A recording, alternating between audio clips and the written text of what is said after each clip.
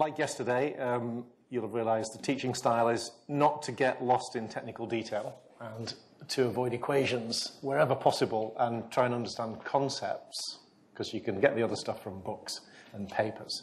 So it's continuing in that style. And I think what we can try and do by doing all of these different techniques within a very short period of time is see that they're not so different. Um, so at first glance, unit selection and HMM synthesis seem radically different. One's a statistical machine learning and one's, you know, the cheating, cut and paste. Um, but they're not so different because the way you choose the units and the, the, way that you construct your statistical model are very, very similar. Um, and it's all to do with how we query the linguistic context to find either a suitable unit or a suitable model.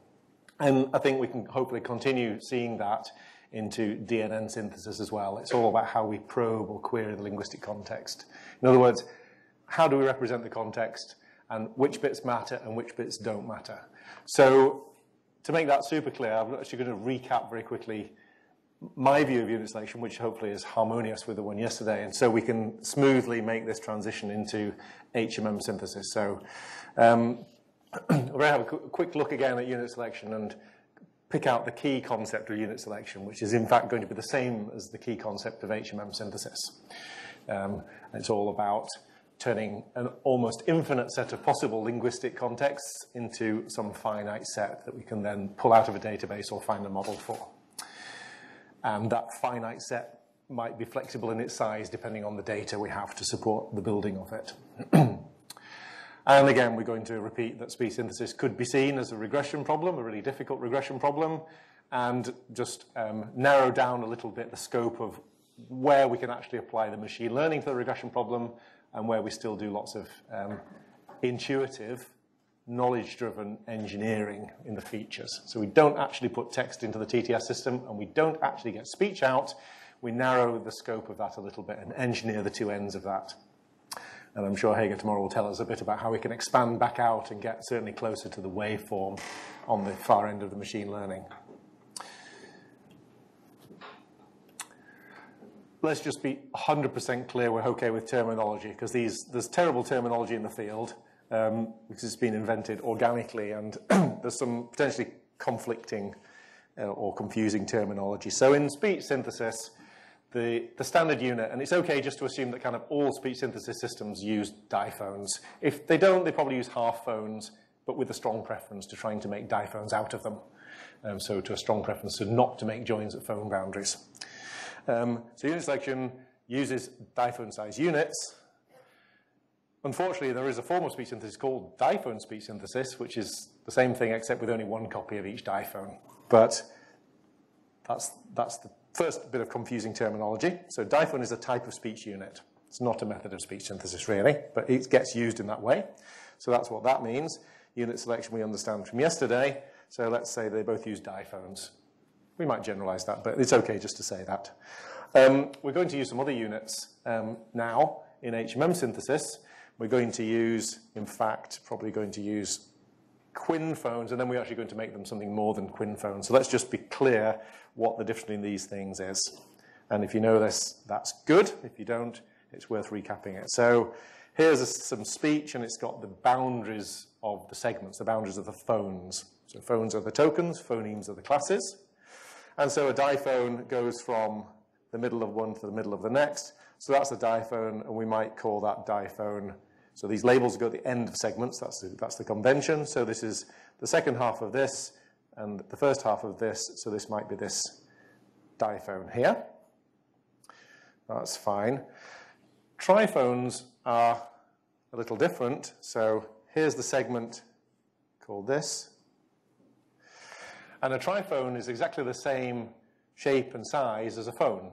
It's just a context-dependent copy or version of that. So it's rather confusing, diphones and triphones. And then we won't get into biphones, because we're not sure what those are. So we might want to give names to triphones. We might have some notation to talk about them. So we'll use HTK-style notation, because that's the only standard available, and it's perfectly sensible. And we might have something like this is this segment, this phone, in the context of Z afterwards, and D before. But remember, it's still a model of a phone-sized unit. It's just there's many, many different models of this unit depending on the context it appears in. And you can, of course, generalize that by adding the next, next phone and the previous, previous phone. So plus or minus 2 will give you quinphones. Quinn is 5. And you can go on from that if you want, but quinphones will do for us.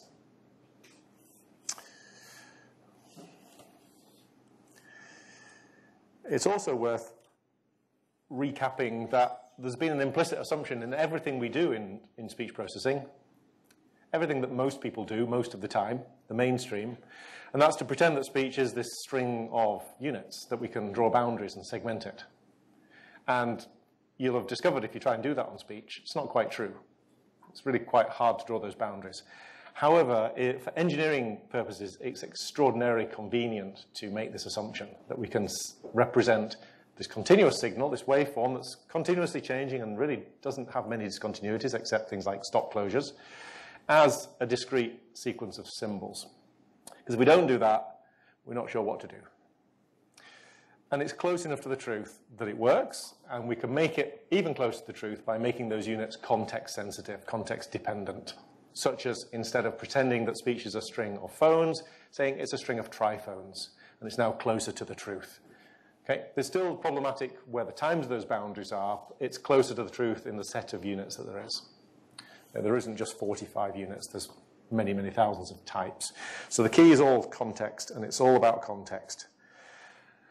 And in unit selection, in HMM synthesis and DNN synthesis, it's all about discovering what the context is. In other words, what affects the current realization of this current sound that we're in, and what doesn't. Because if it doesn't, we don't need to make the model sensitive to that aspect of the context. So how can we possibly know what all these contexts are?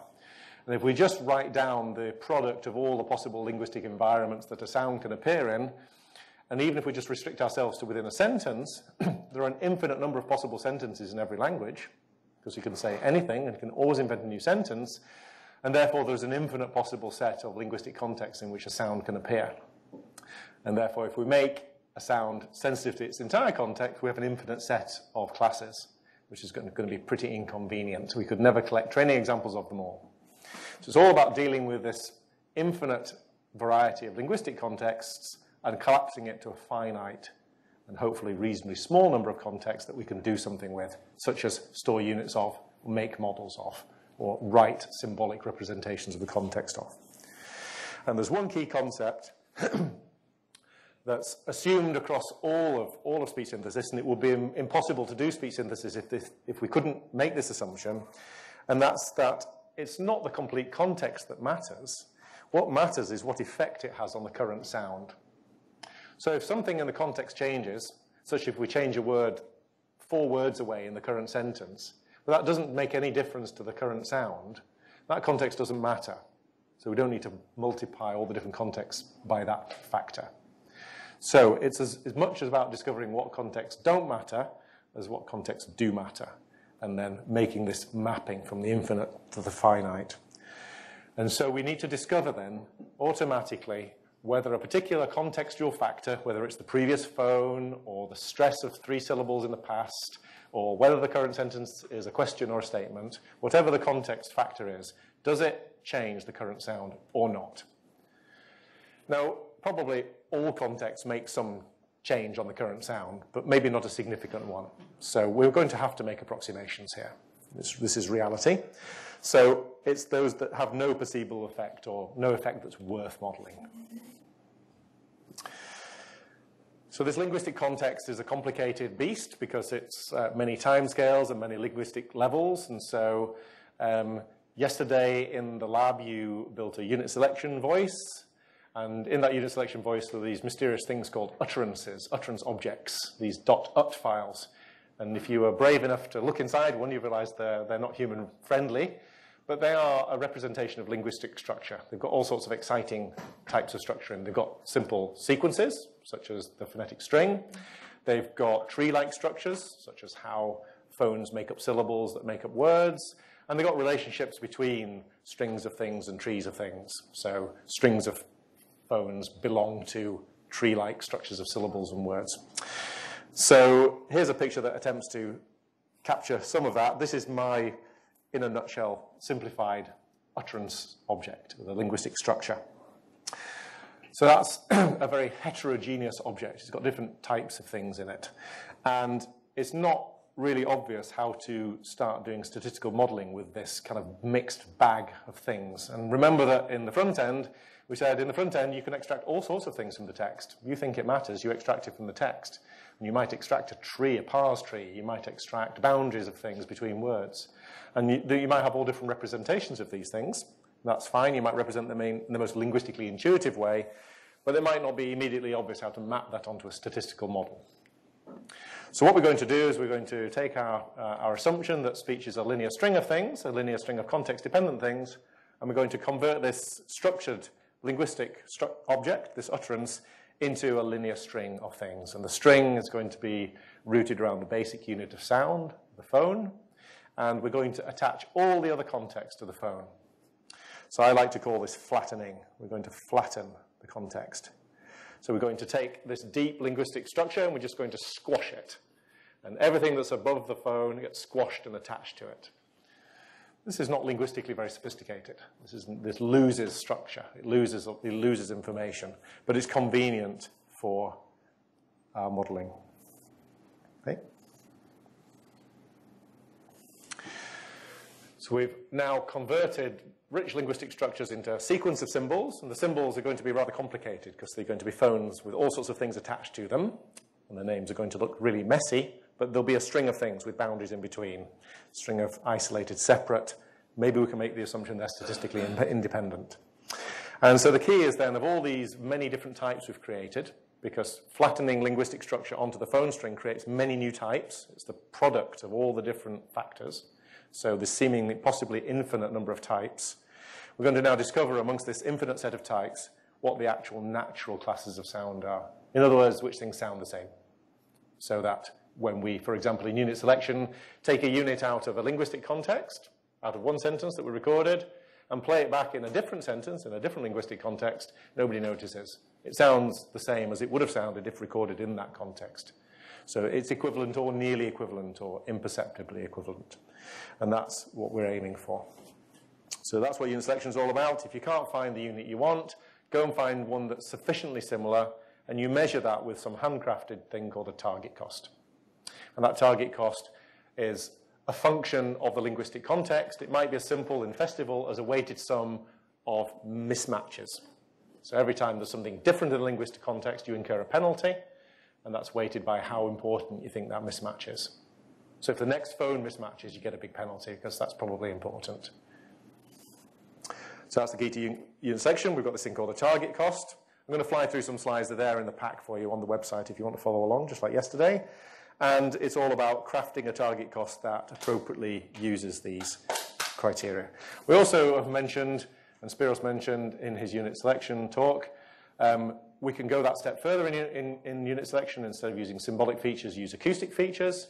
So we need to do effectively what's partial synthesis. Now, for unit selection, it doesn't matter if we synthesize something that we can't get to the waveform from. It doesn't have to be a comprehensive representation of the signal. It just has to be something that's useful for measuring distance. So some acoustic space where we can measure difference. So we don't need a full vocoder specification. We could do something simpler.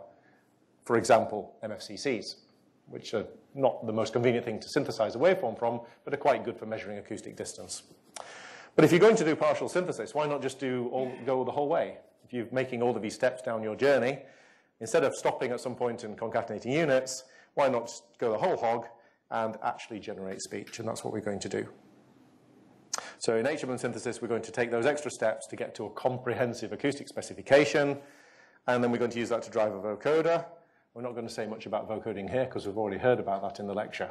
And here's where we stop doing statistical modeling and draw a line and hand over to feature engineering. So the vocoder is an engineered object.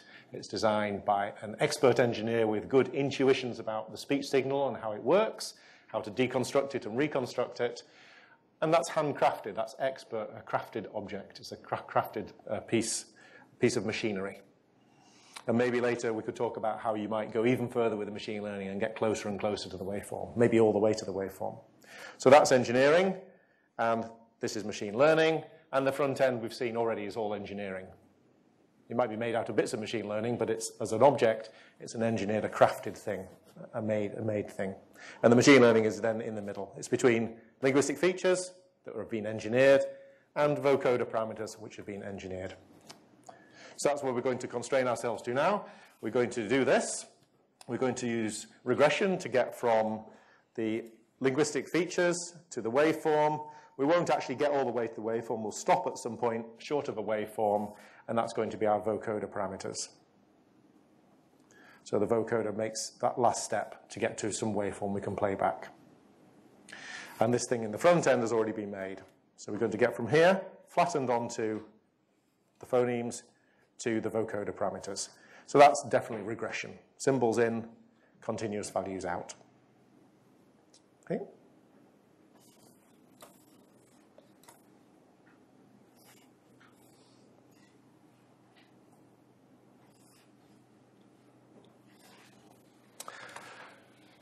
So there's lots of examples out there you can find of, of good parametric synthesis. I'm not going to play you necessarily state-of-the-art samples. We're not going to listen to a lot here because there's, there's, we won't hear big differences over the sound system here. But let's listen to the sort of quality you could easily make yourself with the, the available the tools, the tools that you can get freely. So things like the HTS toolkit for building the models, the straight vocoder for doing the vocoding, or any other vocoder you like. So we'll just listen to a few, a few of those just to get an idea of what things sound like.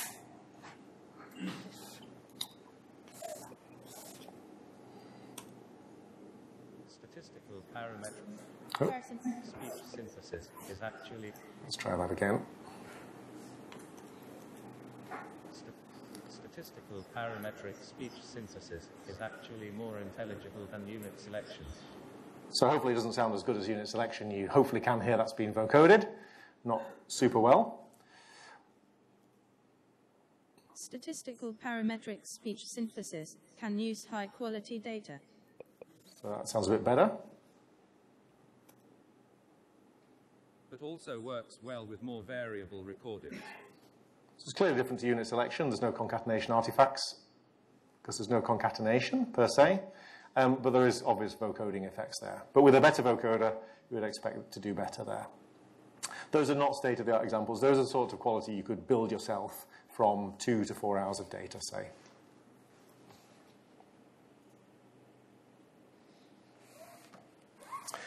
So there's a lot of different ways, a lot of different angles we could come at um, HMM speech synthesis to try and understand it. so what we'll do, we'll come at it from a few different angles, and maybe one of them will make the most sense to you. Um, the first way of thinking about it is to think, we've got a vocoder, and the vocoder can code speech and reconstruct it. So that's something that's often called copy synthesis. And we'll often do that anyway to test the vocoder. We might often do it uh, for the purposes of evaluation to set some top line because that's the best we could ever achieve with HMM synthesis. We can't exceed the quality of just vocoding the natural speech. So one way of understanding statistical parametric speech synthesis is to say it's a kind of a speech coder, a vocoder, that takes speech in and produces eventually speech out. Um, but whereas a speech coder, a vocoder, or a, a, coder like CELP or, or something else, its purpose is to compress or encode the speech so we can transmit it or store it efficiently. So we're going to encode it as some sequence of features, speech features, and we're going to do something like transmit it, and then we're going to reconstruct from a sequence of features, the same features, possibly with errors introduced by the transmission or the compression. And we're just going to break that chain, and instead of just storing them, we're going to distill them. We're going to do a very special form of compression. We're going to compress them into a statistical model that makes a relationship between the text and the features. And then we're going to store that model. And then later, at any time uh, of our convenience, we can retrieve that stored model. And given only the text, we can decompress the speech. So if you're a speech coding person, if you like to think of speech as something you can compress and uncompress, maybe this is one way of thinking of what statistical parametric speech synthesis does. It's kind of the ultimate speech compression. It compresses it into something that's text and then decompresses it. If we're going to do that, we've got to model this coded representation. So we're never going to model directly the waveform, um, at least until maybe we get to very advanced DNN synthesis. And even then, that's still not working as well as modeling these vocoder parameters. So we're actually going to model the vocoder parameters themselves, as we saw in, in the first lecture. So we're going to model the F0, the intensity, the spectral envelope. And we're going to, of course, need some model of duration. So we're going to have statistical models, and the models are going to be of some linguistic unit. We've already decided we'll use phonemes as the linguistic category. So these are models of context-dependent phones.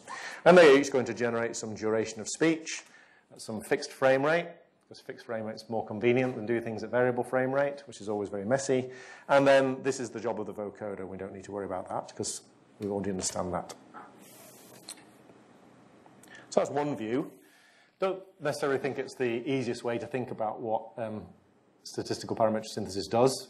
It's not a very obvious form of speech compression. So what we're going to do now is take two other views that are much more helpful. And I'm going to give you first the conventional view, which is the sort of procedural view. It's the view of how you actually build a system. And it's the view that comes from automatic speech recognition, which is where all of this stuff is borrowed from. Is that Yanis with a question or a stretching? Stretching. So, let's start with this procedural sort of mechanistic, what happens when we try and build a system where we'd like to train a statistical model of every phone in every possible linguistic context, realize why that's impossible, and then fix it. Find a solution to that problem. And that solution is borrowed directly from automatic speech recognition. That will help us understand what happens when we actually make such a system, and it will be very practical. But then once we've built the system, we can look at it again and ask, what is it really doing? What's the system really doing?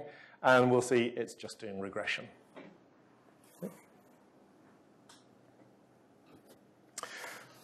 So to set the whole thing in context before we get lost in any detail, let's just see the whole chain of events that's going to happen in first building and then in using an HMM-based speech synthesis system. We're going to need a front end, and the front end is going to perhaps be exactly the same front end we used in unit selection or any other time. It's the same, exact same linguistic processor, and it produces the same linguistic features that are available for unit selection. We may use them all, we may use a subset of them, it doesn't matter. So the linguistic processing is exactly the same, and all that really differs is that we flatten the context and attach it to the phone, this phone level. Now, that's kind of happening anyway in unit selection, because in unit selection, we're proceeding phone by phone, or in practice, diphone by diphone, but it's effectively the same thing. We're proceeding through a linear string of units, and for each of them, we calculate a target cost. That target cost might query this rich hierarchical linguistic structure, but it's doing so for each diphone. So it's still pretending that speech is this linear string of context-dependent units, and the context is associated with things at the phone level. They happen to be diphones, but they could be phones. So we're still doing the flattening thing in unit selection, but we do it explicitly in HMM synthesis. We explicitly rewrite the string of phones as a string of context-dependent phones. Then for each of those classes, this very, very large number of classes, we need a statistical model. So we can store this model, and then when it comes to synthesis time, we put our new text through the linguistic processor, through the front end, and it tells us the string of context-sensitive phones we need. We have already got a model for each of them. We retrieve it, and we string them together and perform some process to generate speech from that, which will first generate speech features or speech parameters, and then use the vocoder to actually get us a waveform. So all that seems fairly straightforward. Train your models, store them, use them to synthesize. And the core problem is going to be that there are more models than we could ever train from any reasonable data set. And to put that more specifically, at synthesis time, when a new sentence comes in and our front end rewrites it as a sequence of context-dependent phones, there'll be a model in there with a name that we don't have in our set of trained models because it never occurred in the training data. And then we need to know what are we going to do when we don't have this model. There's only one thing we can do, and that's use one of the models we do have. And this is the moment at which we collapse this infinite set of linguistic contexts down to a finite set of things we've actually modeled and make this assumption that some things are equivalent or nearly equivalent. They sound sufficiently similar.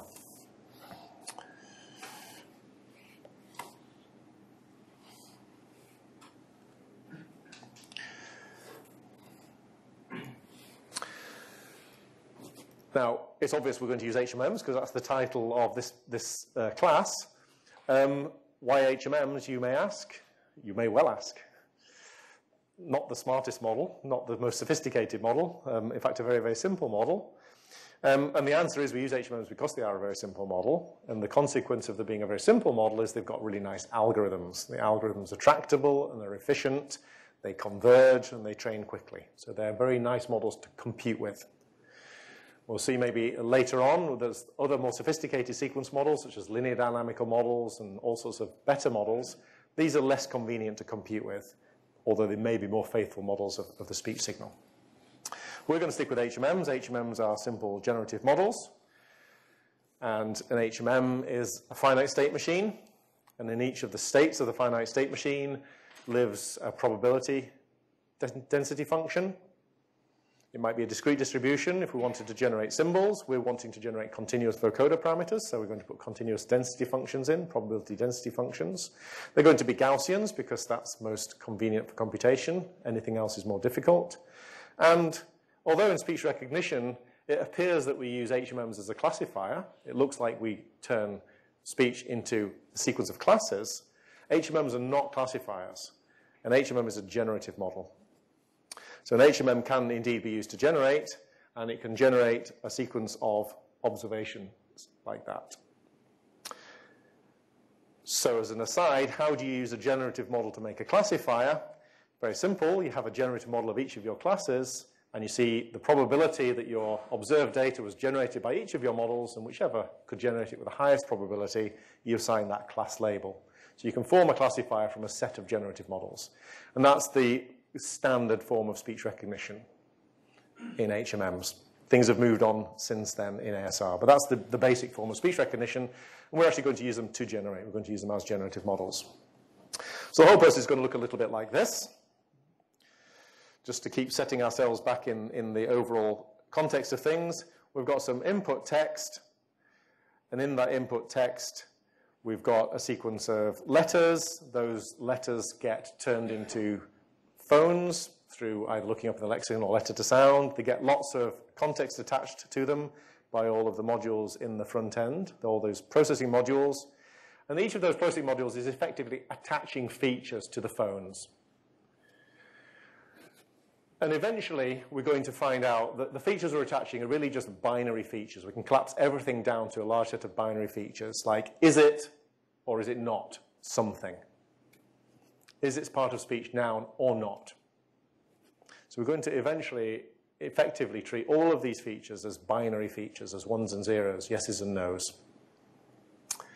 It's true in HMM synthesis and it's true in DNN synthesis. We collapse almost all the features down to binary yes or no features.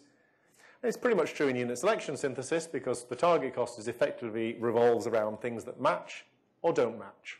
And we can only do that just knowing whether they have the same feature or a different feature. So it's effectively collapsing everything to binary. So all of that beautiful linguistic structure that we spent so ages constructing, trees and things, it's flattened down to this rather long sequences of ones and zeros, which will give them probe with questions or users features in a DNN.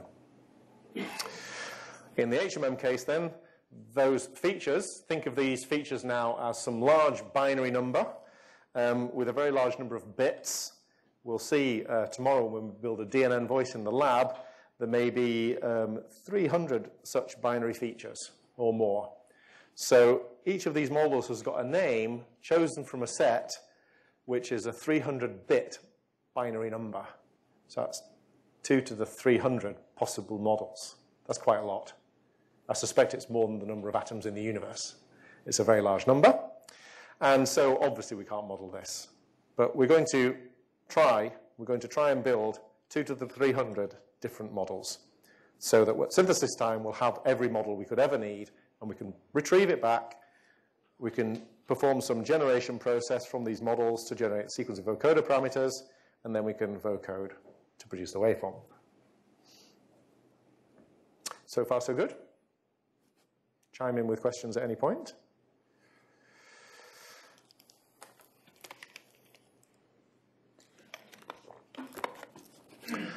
So it's going to get less and less human readable. I'm not going to draw 300-bit binary numbers. So let's draw them in a slightly more readable, but still horrible form, um, because this is what we use in the, in the code. And if we know HTK, we'll be familiar with this. We've taken the front end, we've produced this structured object, we've flattened it onto the phone level, and each of those phones is now a name that encodes its entire linguistic context. So this is, let's pick one. This is the model of or in author, and it's in the context th to the right and silence to the left, er to the right of that and more silence to the left of that. And all of this horrible stuff here is an encoding of all the other context. Um, maybe this one encodes its syllable structure. Um, maybe this one here encodes its distance from a prosodic phrase break or something like that. So we've encoded all of this stuff, and we could further expand that out just to binary features. Is there a phrase break three words from now or not? Is there a phrase break four words from now or not? It's very naive, linguistically very naive, but very convenient for what, we, what is to come. So we've now got this very, very large set of categories of classes. And we would like to build a model for every single one of them, this vast. Okay? Now, I did imply earlier that there's an infinite set of such categories because there's an infinite number of sentences in the language. This is true. However, our front end can only extract so many things from a sentence, and it's going to do the same processing for every sentence. So the number of features that we extract is going to be, in fact, finite. So the context is going to be somehow limited. So it's not going to encompass every single word in a sentence because that's a variable length thing. It's going to become a fixed size but still ridiculously large. So it's not quite infinite, but it's 2 to the 300, which is practically infinite as far as the data is concerned. So we couldn't possibly have a training example of every one of those units in the data. The context is very, very rich. In fact, it's so rich that if we converted our training data, for example, the database for unit selection, which we might use to train our statistical model, if we rewrote all of the phones with all of their context attached and then did a sort on those and then looked at them, we'd find there's exactly one occurrence of each. Never does the same thing happen twice. Only in some weird cases like a special sort of silence or if the same sentence happens to occur twice in the database, like we've got someone saying, okay, twice as a single isolated sentence. So context is so rich, we've got pretty much all the time exactly one training example of the things in the training data, the few tens of thousands of segments in the training data, and exactly no training examples of the billions of other things that are possible.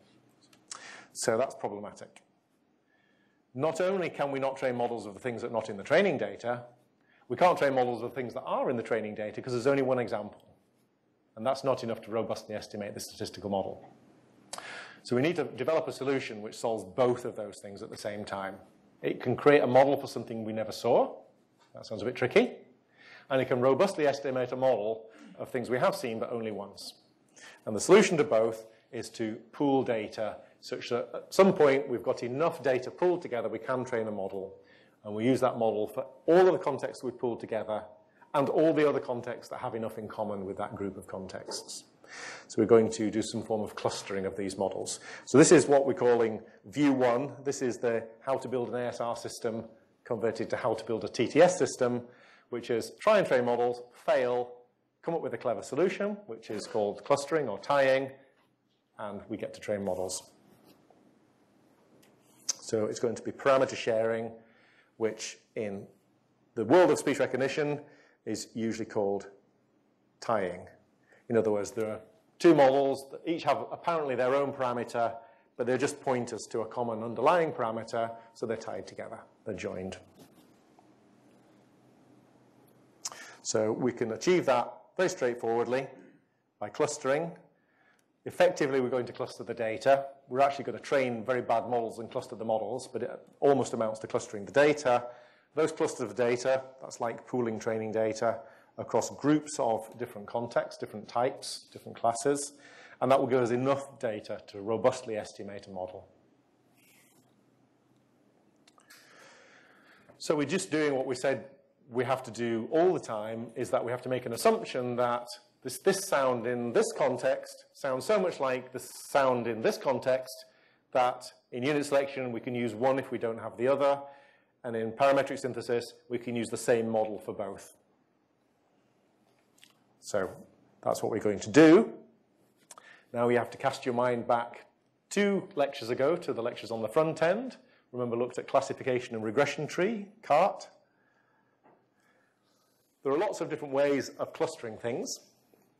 We need a very special way of clustering things here because we don't just want to do bottom-up clustering and form clusters of training data. We need a synthesis time to be able to take just the name of a model, which we don't have, and find the right model in the set of models, based only on its name.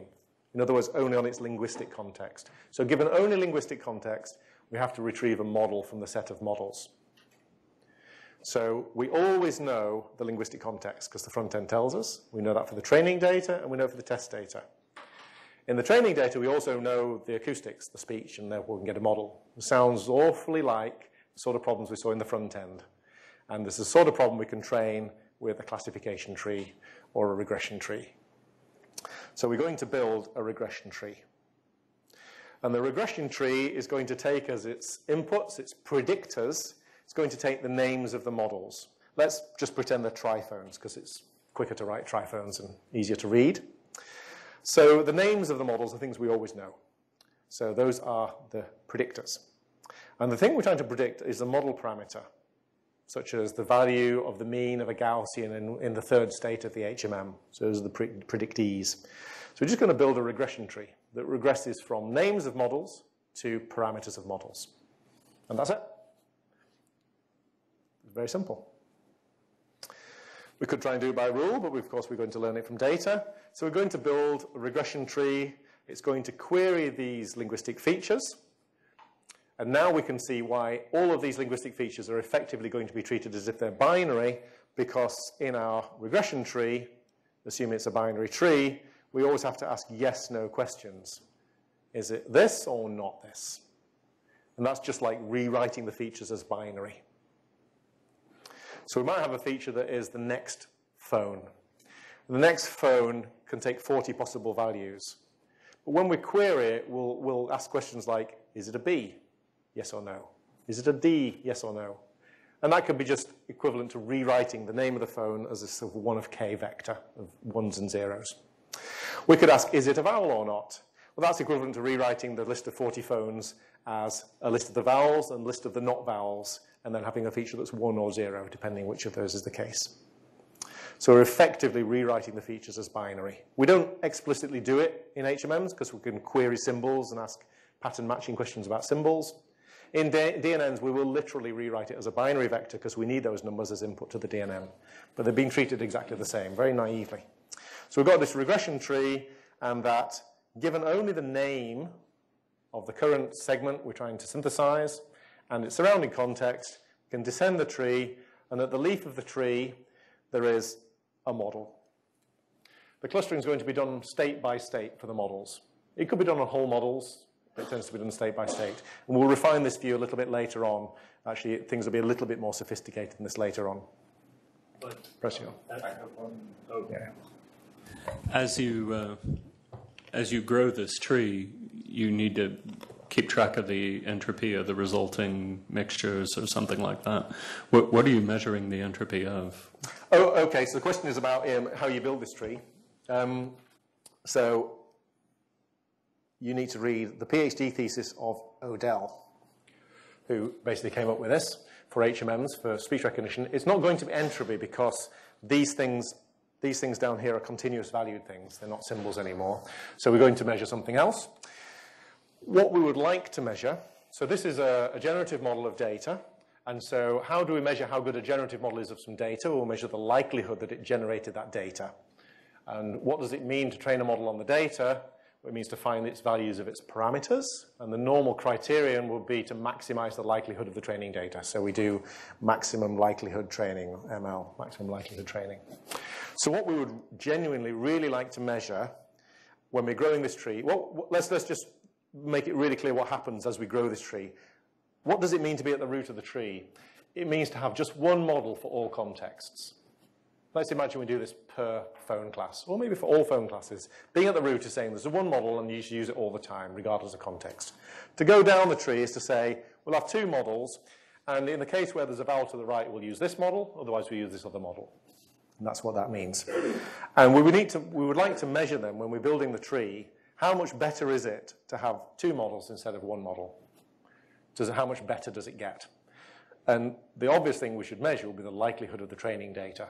This will always increase the likelihood of the training data. You've got a model with more parameters fitted to the data. Unless you've done something horribly wrong, it will increase the likelihood of the training data.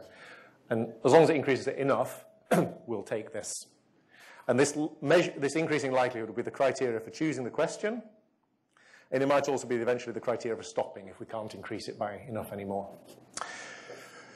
To measure the actual likelihood of the training data would involve actually training these two models and then going through all the training data and computing its likelihood for every possible question we could put here. That's actually way too expensive.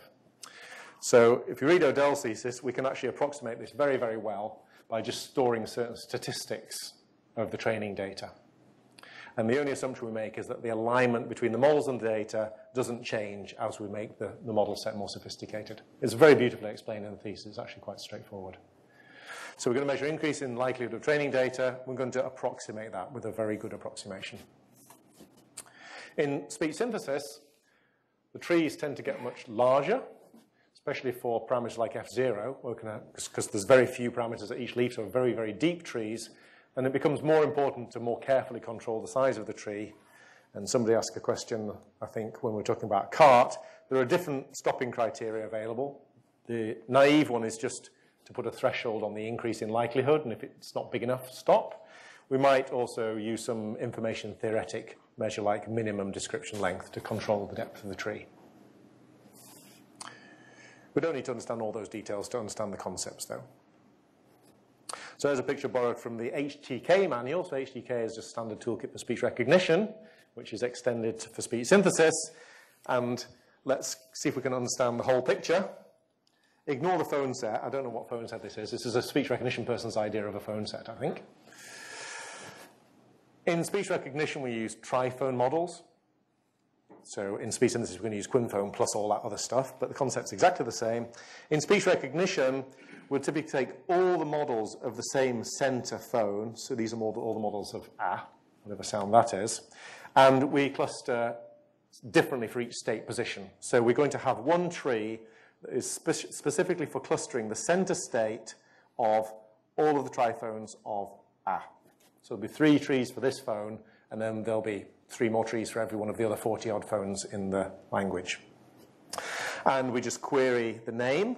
So we ask, is it voice to the left, silence to the right, and so on. And at the leaves of the tree are groups of contexts that have this much in common, but we don't know anything about the things we didn't ask. So this maps directly on what we were talking about at the beginning. Some aspects of the linguistic context make a difference to the current sound, so we should ask about them, and we should try and match them. Some aspects of the current context appear not to make a difference to the current sound.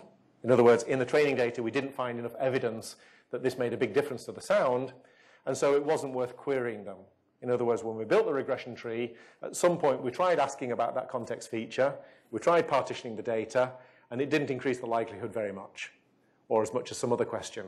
So there was not much acoustic difference between this, these split. So it wasn't very predictive of the acoustics, so that question didn't find its way into the tree. So this is how we discover automatically that some contexts, you know, there's some features in the context, don't have much effect on the acoustics, and we don't need to ask about them. And that's good news because that lets us have multiple contexts at the leaves of this tree. Now, I'm not going to go into huge detail about the mechanics of, of training this. Let's just sort of verbally summarize how the recipe would go.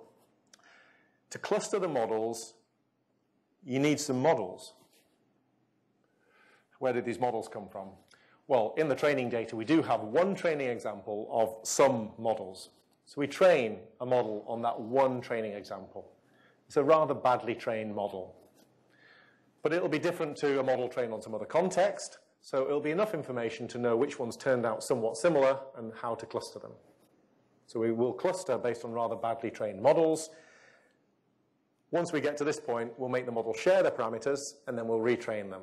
And in this retraining, they'll have a lot more data available because they've pooled all their data together, and we'll get much better models. Okay?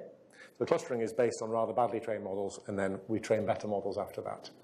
In the really fancy HMM synthesis recipes, we then repeat this several times so we can get some slightly better models to recluster them.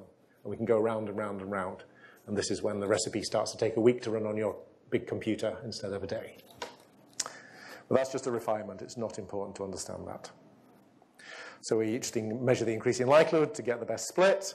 and how do we get models for unseen contexts? Well, hopefully it's completely obvious. Imagine we wanted a model of A in this context that we've never seen before. At synthesis time, someone's typed a sentence in. We want to say something that involves needing this model. We don't have it in the, anywhere in the training data. It doesn't matter because you just descend the tree, find out which leaf you go to, and use the model that you find there. And we're saying that this is equivalent to whatever we found all down here. So that's trivial. At runtime, that's going to be super fast. Going to be no problem doing that.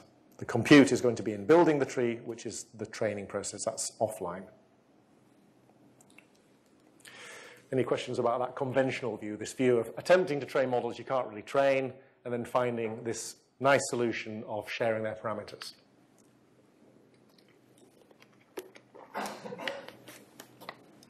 Okay. Now we've got this system, it's tempting to think of this as hidden Markov models doing lots of work. They're state machines, they've got Gaussians in. What's, what's really happening is hidden Markov models, nice sequence models. And then there's this, there's this unfortunate kind of bit of mechanism in the background that provides the models with their parameters. It's just sort of hidden, it's inconvenient. We wish we could train separate models for everything, we can't. So there's this kind of messy tree thing, which when the model says, give me a Gaussian, it happens to get the same Gaussian as some other model, but there's this hidden mechanism. That will be a, a, a one view of it. That will be the mechanistic how did we build it view, but it's not really what's going on. What's really going on is that we've got a big tree that is making predictions from names of models to parameters of Gaussian distributions. That's regression. That's all the work of speech synthesis. Everything is happening in the regression tree. All the HMMs do is tell us what order to do things in. They tell us to go one, two, three, one, two, three, one, two, three. They're just a timekeeper, a sequence, a sequence thing. Not really doing very much more than that.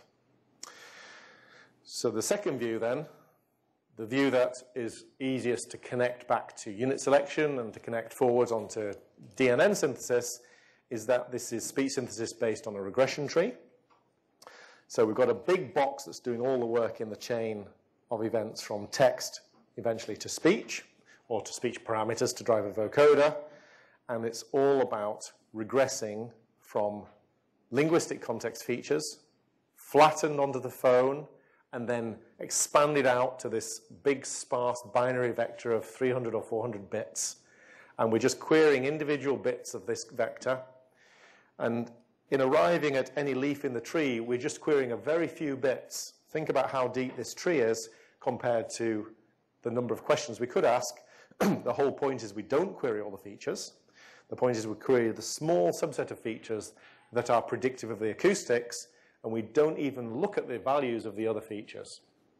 So we just go down a few questions. So the depth of the tree is going to be order of 10, maybe order of 100 in F0, but it's not going to be hundreds and hundreds. It's not going to be all 300 questions we could have asked. So we just ask a small subset of questions in a specific order and end up with a prediction of an acoustic parameter. Now, there's going to be a distribution from which we still need to generate, but effectively, we've already got speech parameters now here at the leaves of this tree. So it's almost a lookup table. It's a kind of fancy lookup table.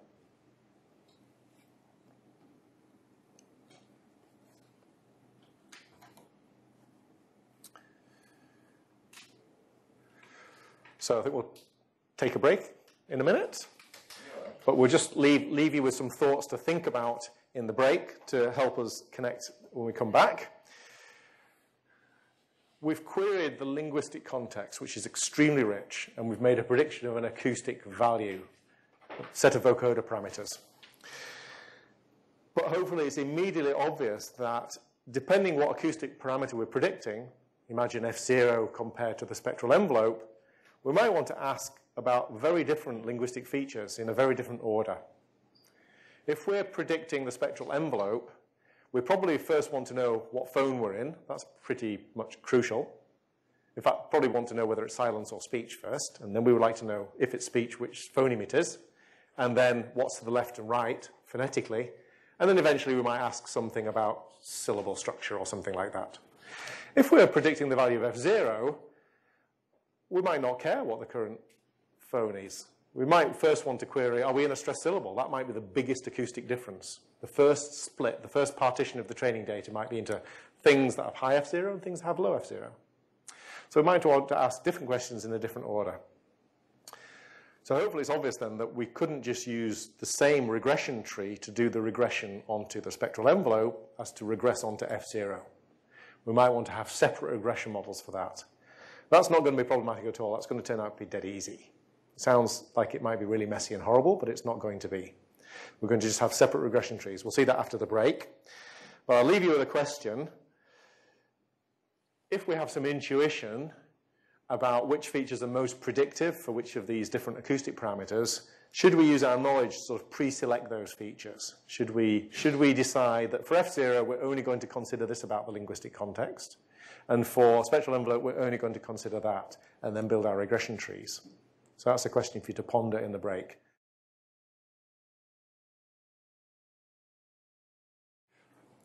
So I think I've been assuming a little bit of background in the basics of speech recognition and HMMs because we can't cover all of the background before getting in things here. If you're missing that, if you don't know some of this stuff, there are, there's lots of basic material on the SpeechZone website. Um, that's not all complete yet, but it'll be complete in the next month or so. So I left you this question. we're clustering our HMMs. In, in other words, we're building a regression tree.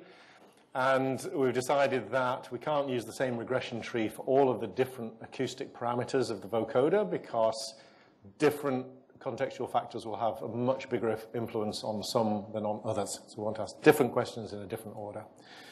And we pondered whether we should then engineer that. We should decide which features to use for each stream, as they're called. so let's think about that. So let's just clarify some terminology. Excuse me. There's some terminology. So our vocoder, depending on the vocoder, it might have different parameters, but broadly speaking, we're going to have something to do with the spectral envelope of the voiced part, um, the F0, the energy, and something maybe about the aperiodic, non-periodic energy, maybe the spectral envelope of that as well. And we could divide each of those quite different acoustic types of features into what are called streams, and that will become clear in a moment. So we, are going to build a different regression tree to predict each stream of vocoder features.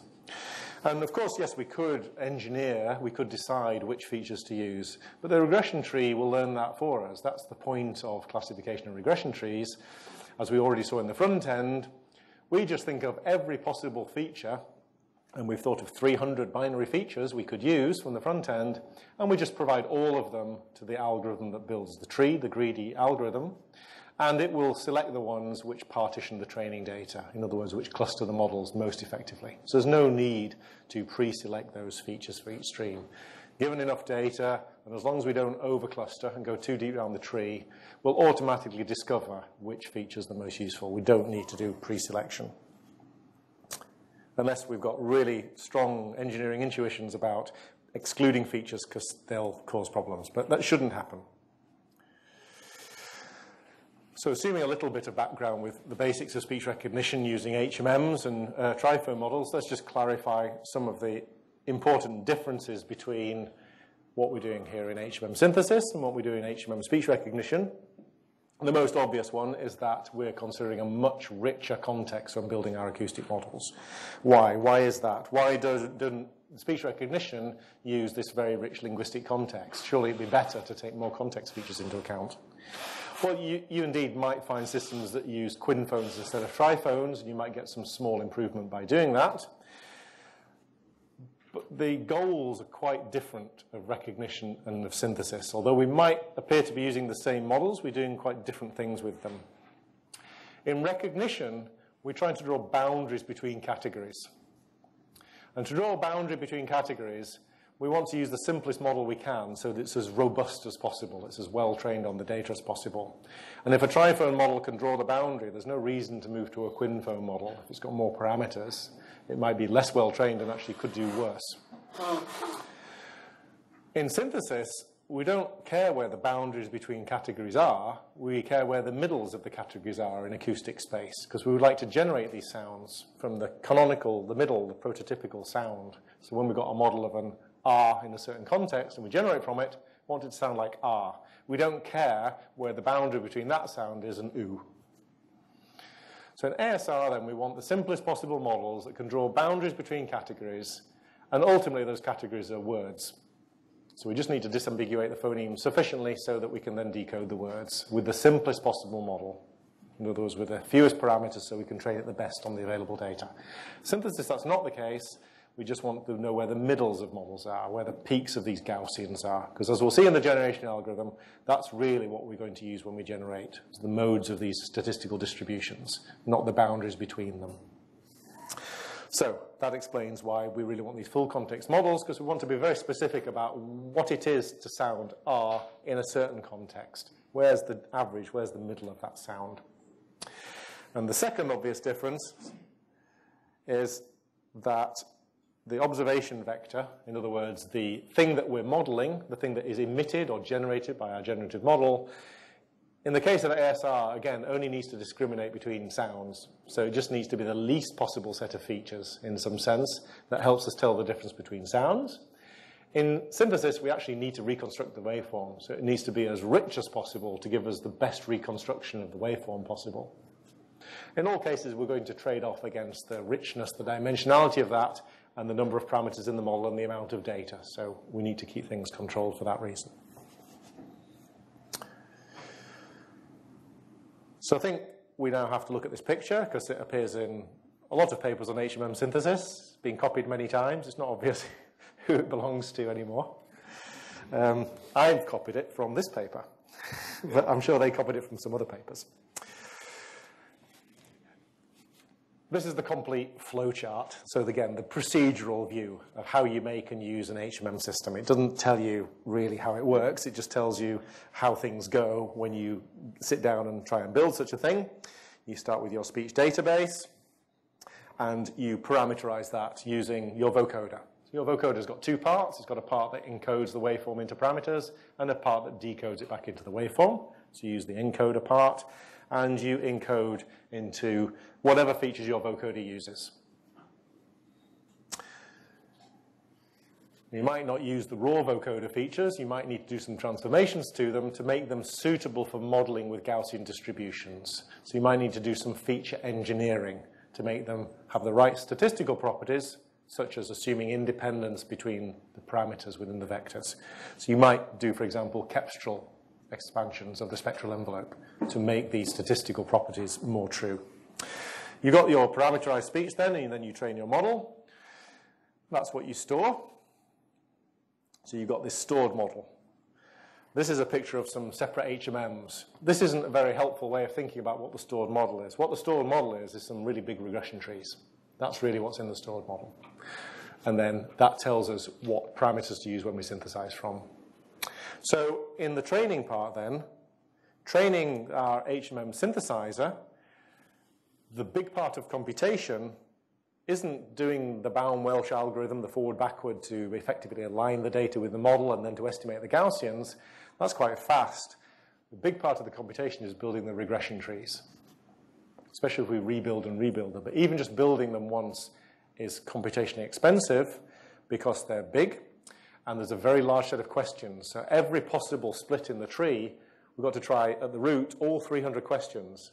And then at the next level down, the remaining 299 questions, and then 298 questions.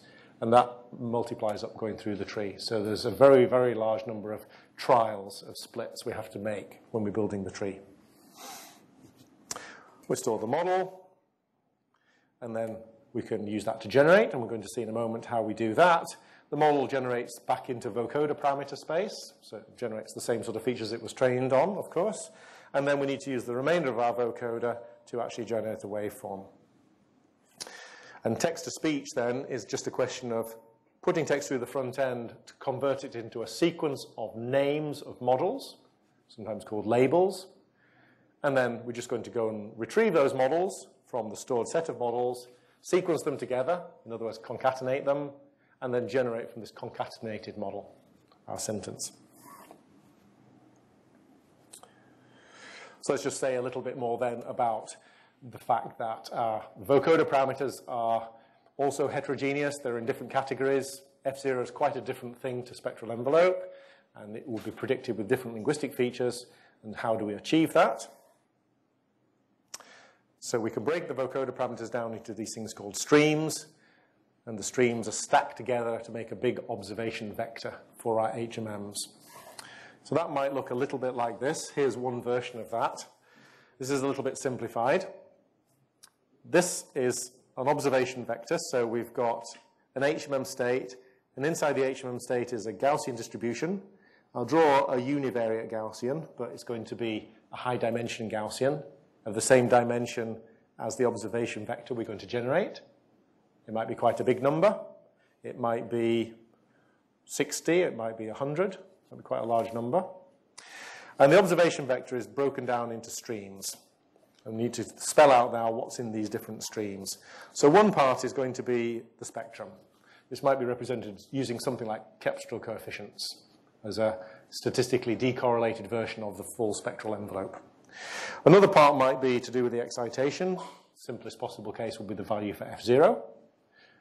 And we might have a flag that tells us whether it is an F0 or not, or we could encode that as a zero value for F0, or we could do something really messy, which we'll see in a minute, which is have no value for F0 in the voice, voice parts. What's not shown here is the non-periodic energy, so we might add additional parameters of that. And exactly how this is structured depends on your vocoder, depends what parameters you need in your vocoder.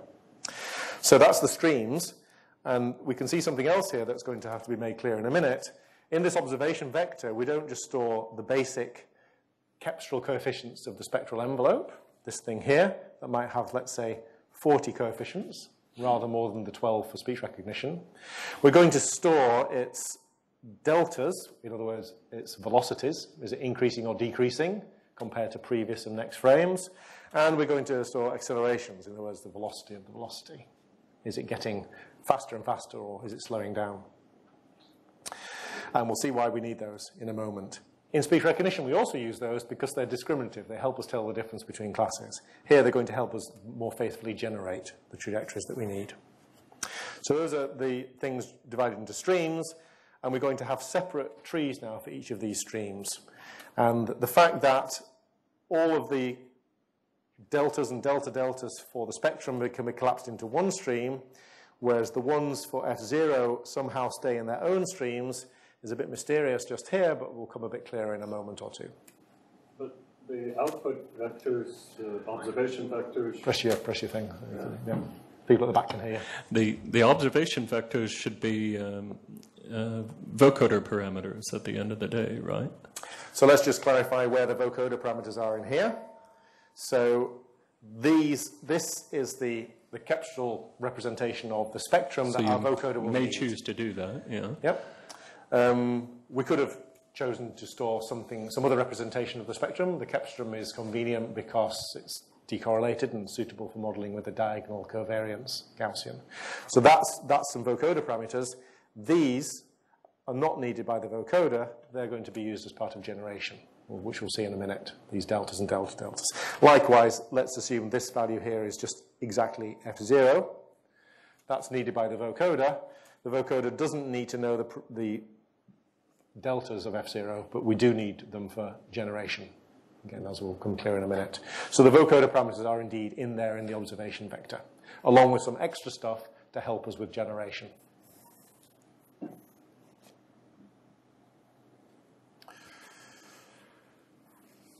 Now, when we use a vocoder, hopefully it's obvious, but it's worth stating that the number of parameters that we need for the vocoder needs to be fixed in each frame. It can't vary from frame to frame, because then the dimensionality of our Gaussians would vary from frame to frame, and then I've no idea how to cluster them with a regression tree. That's a, a nightmare. There's no sensible machine learning to do that. So if we have a vocoder, for example, if our, if our vocoder parameters were the amplitudes of the individual sinusoids in a sinusoidal model, and the number of those sinusoids varied because F0 is varying and with the number of harmonics might vary, we can't directly model that. We would need to make that somehow a fixed number of, of parameters. So vocoder has to have a fixed dimensionality. There are various different ways of doing that. One would be just to fix the number of sinusoids. Another way that's more common would be actually model the envelope as the cepstrum. So to effectively do the same sort of thing as any other vocoder. So these sinusoidal models give very, very high quality. In their kind of raw, naked form, they're not so convenient for directly modeling. We need to do some feature engineering to make them have features which we can model. That's fine for the spectral envelope. We all can have a fixed dimensionality that represents the spectral envelope. In other words, the, the form and structure of the speech. But there's a parameter in speech which is really annoying because it doesn't always exist, and that's the fundamental frequency. And that's because the vocal folds sometimes vibrate and sometimes don't vibrate. It's very, very inconvenient in statistical modeling to have a parameter that sometimes doesn't exist. How can we train a model of it, and what do we do at generation time? There are lots and lots of different solutions to this. One would be to give F0 a magic special value when it doesn't exist. And the typical value would be zero. So if we draw, this is time, and this is frequency. If we draw an F0 plot, it's going to have value sometimes, but other times it's not going to have values. We could give it a special zero value, and we could effectively redraw F0 like this. That's one possibility. And then ask our model to model that. But that's kind of weird, because at this moment in time, the model has to predict that F0 suddenly plunges all the way to zero and then stays there at exactly zero for a while, and then suddenly goes right back up. Because this zero value is a fake value. It doesn't exist. It's not really F0 at all. It's just a dummy. It's a flag. So that's going to be a bit of a mess for statistical modeling. Another solution, which is used, which is much more sensible, is just to interpolate a value of F0 across this gap here. So to fill in the blanks. And ask the model to effectively model F0 when it doesn't exist by giving it interpolated values for the training data. And at generation time, we could generate these interpolated values plus a flag that says, actually, it's unvoiced. So we're just interpolating at the moment, and then voicing comes back on again. That would be a, sensible and, and good solution. It's actually not the most common solution. The most common solution is rather more mind-bending. Um, and I know people that don't believe that this is statistically possible. I'm just going to tell you how it's done without telling you if I believe it or not. This is how it's done. We say that f0 is a vector of dimension 1. Yeah, it's a number, scalar, which is also a vector of one dimension. We're happy with the fact that a scalar is a one-dimensional vector? That's not too difficult, right? That's not the mind-bending part. When f0 doesn't exist, it's a vector of zero dimension. how you draw that. Okay? So F0 has varying dimensionality. Now, I said before, that's statistically very inconvenient. Indeed, it is. But it's the standard solution in the standard toolkit in HTS that does that. And so how do we model something that's sometimes one-dimensional and something zero-dimensional? We effectively model it with a mixture distribution, a mixture of two densities. One of them is a one-dimensional Gaussian. This is fine, I can understand that. And the other is a zero-dimensional Gaussian. So there's got no parameters because it doesn't have a value, it doesn't have a mean or a variance. It's, it's, it's empty. It's a blank space. So that's okay, you can train that. and of course, it's because it's a mixture distribution, we have weights, we have mixture weights on the two distributions, and the mixture weights tell us if we're in the voiced or the unvoiced thing. So there's some mixture weights. And so this R1 means we're in one-dimensional vector space of real numbers. This is zero-dimensional space. And we have some weight that tells us which of these is more likely, and effectively that's the voicing probability. And this is called a multi-space distribution because it's in two different spaces, two different vector spaces, a one-dimensional space and a no-dimensional space. And that's how it's done. So effectively, really what we're doing is having a flag for voicing, which is the mixture weight, and if the mixture weight for voicing is higher, then we have a distribution for voicing.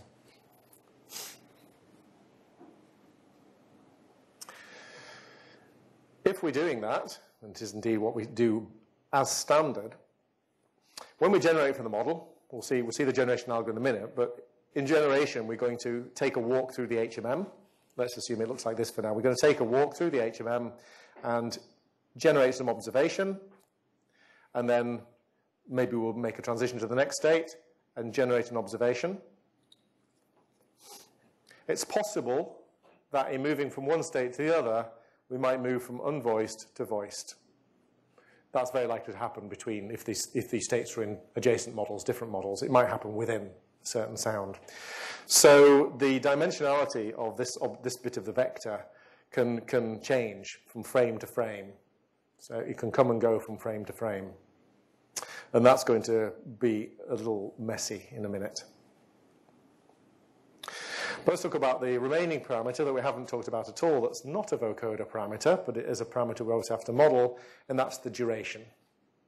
So we need to model how long speech sounds last. In a normal HMM, that's what this thing here does, this self-transition probability. And the self-transition probability would normally be a number that's close to but a bit less than 1, such as 0.9.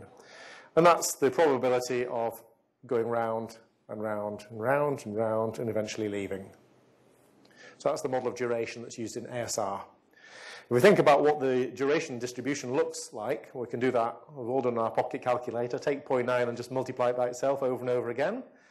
It's going to be this exponentially decaying distribution like that. If we plot the real duration distribution of speech sounds, it doesn't look like that. It might look a bit more like this sort of kind of skewed Gaussian sort of distribution. So this self-transition probability is a very weak model of, of duration because it doesn't look the same shape. It's got a much more fundamental problem though. We're using generative models, hidden Markov models, and we're going to have to generate in a minute, and we need to generate under some sound statistical principle. And the obvious one to do is to use maximum likelihood, because that's what we used in training and we should just do the most likely thing at generation time. Here's a model of some speech sound. Let's use it to generate. What should we do? Well, we'll just generate the most likely thing of this model. This would make the most likely duration of everything one frame. We just fly straight through the model at maximum speed.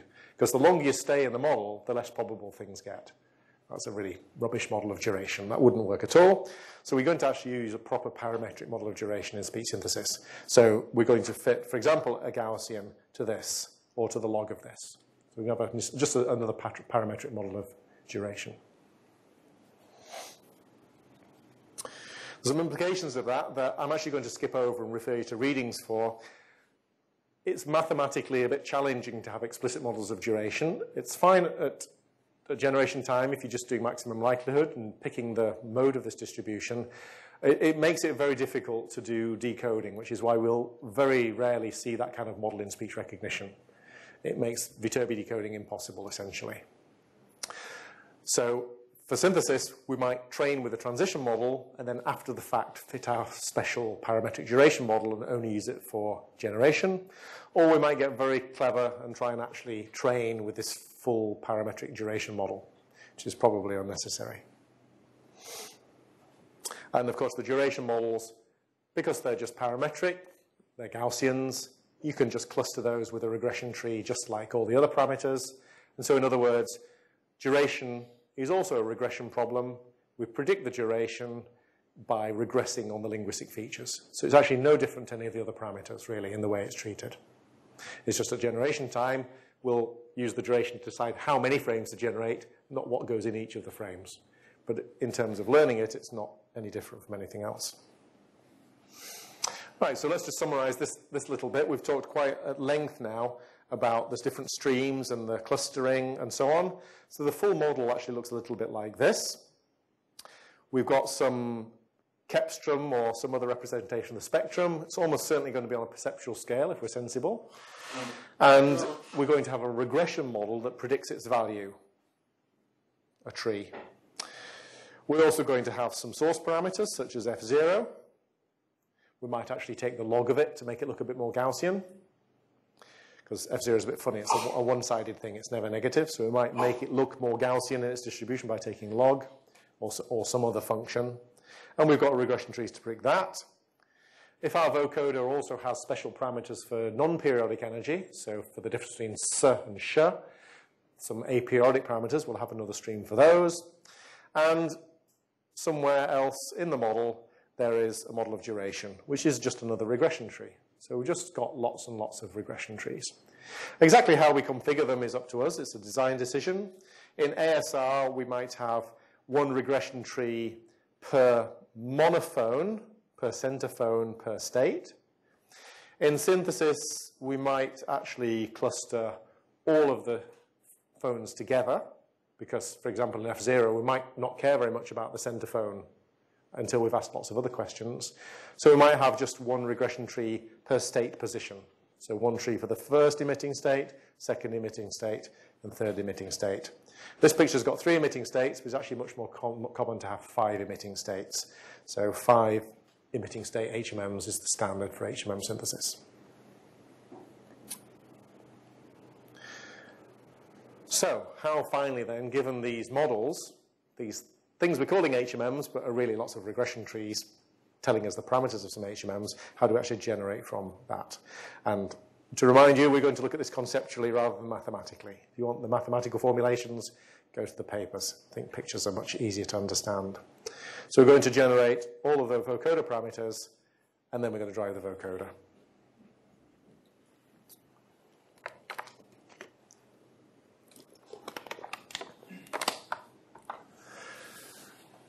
So we're going to generate from a model. The model is a model of a phone in a particular context, concatenated, sequenced together with all of the other phones in context that make up the whole sentence, as predicted by the front end. And just to make super, super clear, in case it's not obvious, it's completely trivial to concatenate two HMMs together. Let's draw two HMMs. Here's one. I'll just draw some simple ones with self transitions. Here's an HMM, and here's another HMM badly drawn. And if we just join these two things together, this is just an HMM. The beauty of HMMs, they're so simple that we can make one HMM by just gluing two other ones together, by sequencing them concatenating them. And any algorithm that we know for this one works for the whole one. So we're going to generate for an HMM which has been made by joining together all the phone-sized HMMs, but it's just a really long, stringy HMM with lots and lots of states. So if I draw pictures of little HMMs generating, everything we know there extends to really long HMMs generating. They're not different in any way except having more states. So if we want to generate, we need some principle, and we've already said that in the absence of any other uh, principle, we'll always go for maximum likelihood. That's the most basic principle of machine learning. Do the most likely thing. Get a model which generates the data with maximum likelihood. Given a model, generate its most likely observations. If we did that, if we generated from an HMM, and we went into an HMM state and said to the state, emit an observation, please, and emit the most likely observation. What's the most likely observation we can emit from an HMM state? Just the mean of the Gaussian. And then we go to the next frame, and let's say we're staying in the same HMM state. Our duration model says we need to do several frames in a row from this HMM state. Let's generate again from the HMM state. What do we generate the next time? The mean again. So we're just going to generate the same exact same value again and again and again for a sequence of frames until the duration model tells us to move to the next state. So if we drew such a thing, let's just draw it for f0 because it's easier to draw things in one dimension. So that's f0 in hertz. We're going to generate a con constant value for some number of frames and then move change state and probably change a different value and then some different value. Have you ever seen an F0 contour that looks like that? except when you generate wrong from an HMM. F0 doesn't look like that. F0 is smooth, and so are all the other acoustic parameters. So we've missed a trick. We've done something wrong. The maximum likelihood generation algorithm there seems to have failed us. There's nothing wrong with the principle. It's just that we haven't modeled something properly. And now we need to think what we need to model to get that smooth trajectory. So we're going to sequence from this model. We're going to visit the states in order, and at each time frame, The time frames are typically going to be a 5 millisecond step, a 200 frame rate, 200 hertz frame rate. We're just going to generate little bits of speech features. Let's imagine they're a bit of spectrogram, but in reality, of course, they're vocoder features. And then we move on and we generate the next one and the next one and so on. Okay? And we keep sequencing through, emitting from this model over and over again, and eventually kind of print out a set of vocoder parameters for which we can then use to uh, get the waveform. Now, these vocoder parameters are smoothly varying. We don't see sudden discontinuities in here. Yep. So as we move through this spectrogram here, things are all nicely smoothly changing. And our waveform is also continuously changing. We see boundaries between some sounds, but they're smooth, they're smooth transitions. And within vowels, for example, we get nice smooth trajectories.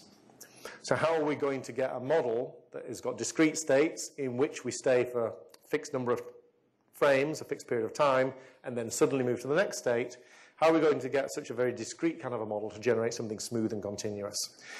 And the answer is we better look again at the data and think there's something about the data we haven't quite captured in its parameterization, in the vocoder parameterization. So at the moment, we're just thinking about generating the mean of these Gaussians.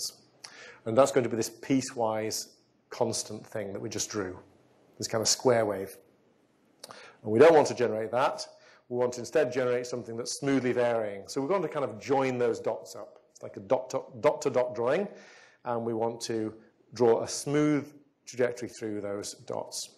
If we just follow the mean, we'll get these very nasty square looking trajectories like that. And that's the wrong solution. That will sound terrible. The solution we do want is to have a nice smooth line, perhaps something like that. So how are we going to do that? Well, couple of observations we can make about that. First of all, although this is the mean, maybe this is the mean of f0 in the beginning of a certain sound in a certain context, we know more than just the mean. We already know that there's some standard deviation about that mean that we observed in the data. So just generate the mean over and over again is very naive. There's natural variation about that mean. That's one factor. But a more important factor is that we have to get from here to here in some natural and plausible way, and we can only move F0 at a certain velocity. Uh, do you know how to control F0 with your vocal folds? What do you do? How do you change the pitch of your vocal folds? So we do it with tension. There's a muscle. We stretch it, just like a guitar string. So there's a muscle, and that muscle is only so strong and can only act so quickly. It's governed by physics. And so we can only move at a certain velocity between here and here. And we can only change that velocity in, uh, within limits as well. So it's got certain acceleration constraints. The, the, everything has a mass.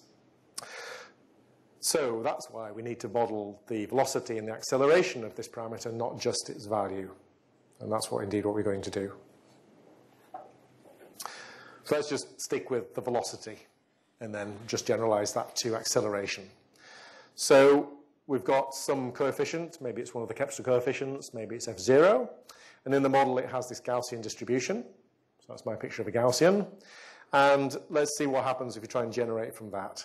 Right? So let's draw that on a time axis, like this. Put some, always label your axes. So this is time, and this is going to be a generated parameter coming out of the model eventually will go into the vocoder. Think of it as a formant or F0 or anything that, anything that helps you understand. So I've drawn the Gaussian aligned with the axis of the parameter it's a distribution of. And of course, it's got a mean. And if we just generate it from that mean, so the frames go through time like this, that's the clock ticking away. And so if we generate it over and over again from the mean, we just generate this piecewise constant value, which will be unnatural. So that's obviously the wrong thing to do. What instead we're going to do is we're going to model not just the distribution of the value we're generating, but the distribution of its velocity. So velocity is speed, but it includes direction because it can go down as well as up. So we're still going to take the distribution over the parameter itself, and we're still going to use that to generate from. But we're also going to generate something that's not only likely under this Gaussian, but is also likely under the other Gaussian. So it's the most likely thing given what we know about its average value and about its speed. So imagine we know its average value is this, but we know that its speed is positive. Generating this is actually quite unlikely because that's got a zero velocity. So in the distribution for velocity, that'll have a very low probability. That's a very unlikely thing for this model to do. We've got some distribution over velocity that says the most likely velocity is plus 6. And so the most likely thing we would generate would actually be this. This still has the same average, so it's centered on the mean, but it's got the velocity equal to the mean of the velocity distribution. And hopefully you can mentally generalize that, that if we had a distribution over acceleration, we could say not only would it have this average value, and in general it would be increasing, but it would be getting faster all the time, or it would be slowing down. So acceleration will give us curvature. So we've got value, slope, and curvature. And that's what those three coefficients are going to give us. That's why we need to model them. Once we've done the generation, we only care about the actual value. That's what's going to drive the vocoder. Those deltas are just thrown away. We, don't, we can generate them, but we don't care about their values. They're constraints on generating the base coefficient, this C. And the terminology that's usually used for that is the static, which is a st stupid terminology for it because they're not static at all. They're often called the statics to differentiate them from the deltas and the delta deltas.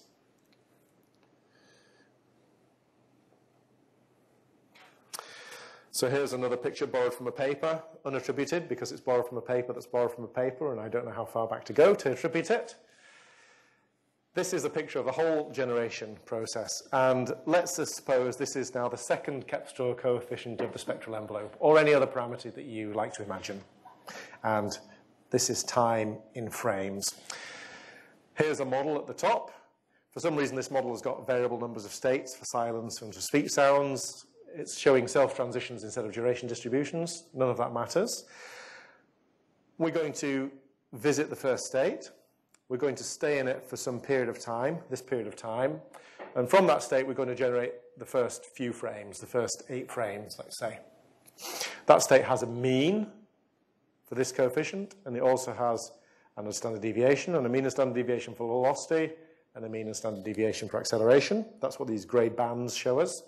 And what we're going to do is we're going to make a trajectory in this base coefficient space that's the most likely trajectory given the distributions over its own value. So it's going to go quite near the mean quite a lot of the time because that's a very likely thing to do. But also is likely as possible given what we know about its velocity and has the curvature that we've also learned from the data. So if we zoomed in a little bit, let's, let's look at this little bit of the picture here. Hopefully this is big enough to see. Here's a little bit of trajectory where the distribution we've learned from the training data, in other words, the statistics, the mean and standard deviation, are so. And we've learned that the velocity is positive. So when we generate from this state, we generate something that's around the mean value, I'm hoping you can see that, but the trajectory is increasing. And that's likely because this has a mean that's a positive value. And if we zoomed in further, we could see it had some curvature, and its curvature was, it was slowing down slightly because there's slightly negative acceleration.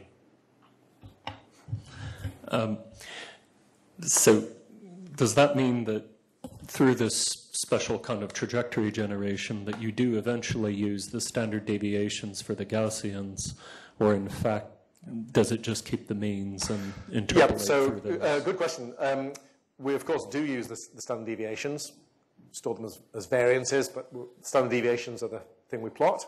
Um, yes, we do indeed. So let's let's have a look at some cases. So let's compare the difference between what we're generating here and what we're generating here.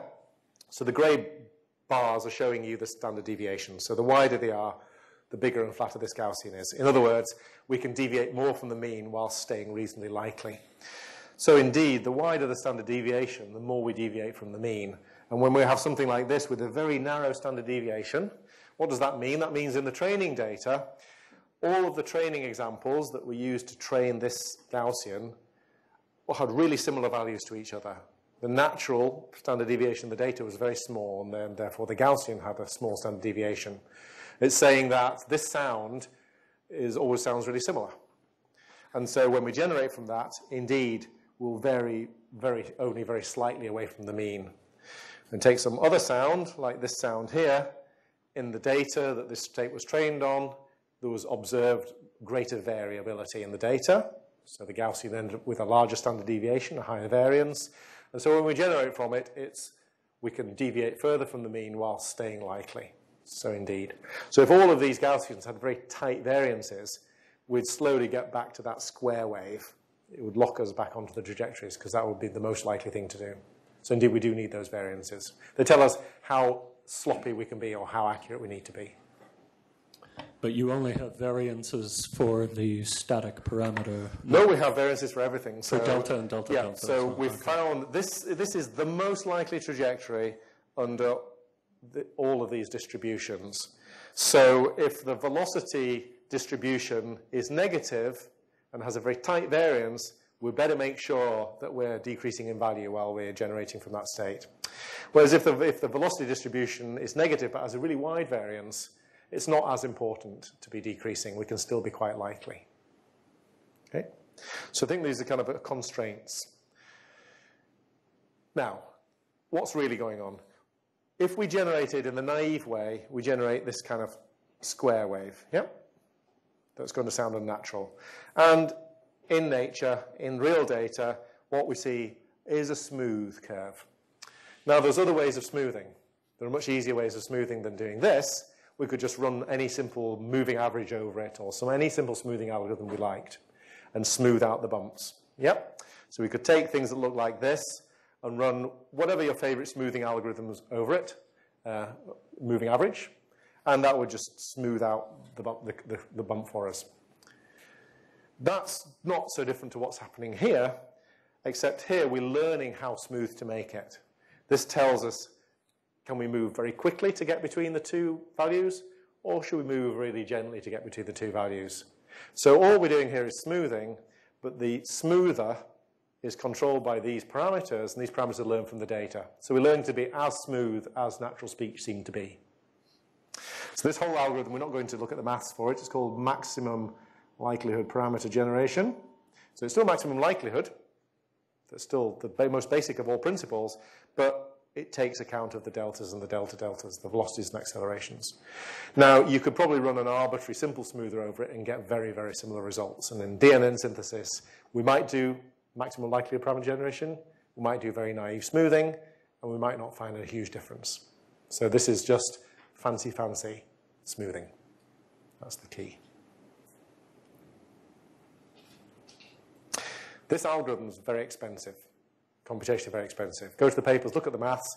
It's lots of big matrix operations because we're solving a complicated equation. We're trying to find the most likely thing under a big set of constraints over a sequence of hundreds of frames.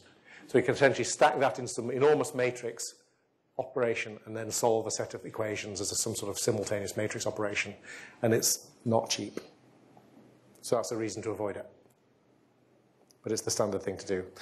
Okay, so let's just wrap that up, and we're going to spend the last 10 minutes doing one final topic, which is adaptation. We've talked about unit selection, and we've talked about HMMs. Hopefully, we've seen lots and lots of connections between them. This regression tree is regressing from linguistic features to Gaussians, which we then generate from. It's not a whole lot different to pulling out a bit of speech waveform to pulling out a Gaussian. They're not that different. It's just the Gaussians are distributions, but it's the mean is by far the most important part of that distribution. And they've got little durations, and we tend to use subphonetic units rather than diphones. But really, we could see the big regression tree as just a tree-shaped lookup table that says, given this feature, look this thing up, happens to be a Gaussian, pop it somewhere, we have its duration, and then vocode it. That's not so different to retrieving a fragment of waveform of the right duration with the right features. They're really not so different. So you can see lots of connections between the thing the target cost does, which is just it's probing, it's querying those linguistic features. The, the regression tree is probing or querying those linguistic features. The target cost pulls us a set of candidates out of the database, which we choose between to get a smooth join, but it could just have chosen the top one. The regression tree gives us just one set of parameters, effectively a mean, and in order to make that join well to the next thing, we make sure we make a smooth trajectory between them. We don't just concatenate them and do the square thing, we smooth them with this generation algorithm. In unit selection, we choose amongst them those that already naturally have that smooth transition. Okay, before we move on, any last bits of questions on that? For in speech uh, in ASR, we use uh, GMM. Can we use that for speech synthesis? So the question is whether you use a, a, a mixture of Gaussians Yeah. as the distribution model in the states. Yes, indeed. Well, of course, we can do that. Um, let's just draw a picture of why we don't do that, or why we generally don't do that. Here's time. Here's some parameter we're trying to generate from. And I'll just, I hope it's okay, I'm drawing my Gaussian sideways because they're in, they're, they're the dimension C. So let's imagine we've got this Gaussian at this moment in time, and then this Gaussian here, right? And the normal generation algorithm is to draw a nice smooth trajectory joining the dots up like that. Okay with that? If I had a mixture of Gaussians, let's just have two. Imagine I had a mixture distribution here and a mixture distribution here. So these are very badly drawn Gaussians. I've got them sideways. And I've now got to find the most likely trajectory through here. Before, there was only one obvious trajectory, and the simplest was just join the means up, constrained by the velocities and so on. Not so anymore. If we draw the trajectory now, we could join this Gaussian to this Gaussian, or this Gaussian to this Gaussian, or this one to this one, or this one to this one. There's now four paths. And the further we go on, the more paths, because each of these can now go through two Gaussians and two Gaussians. So the number of trajectories grows exponentially with the number of frames, which would be a very, very large number. We could actually never do exact computation with such a model. We'd have to do some approximations. ASR, this doesn't apply because we just make this extreme and strong Markov assumption. We don't, we're not drawing these trajectories at all. We're just computing independently. But here, we are not doing independent computations. What we do here depends on what happens here. That's why MLPG is expensive. To do MLPG with mixtures is going to be exponentially expensive. In fact, not possible to do exactly. So the answer is, in general, probably not going to use mixture distributions. Uh, I have one comment about that. So, Yeah. so the, there are three versions of parameter generation algorithm. The third one is, so the, the Simon explained is a very basic one.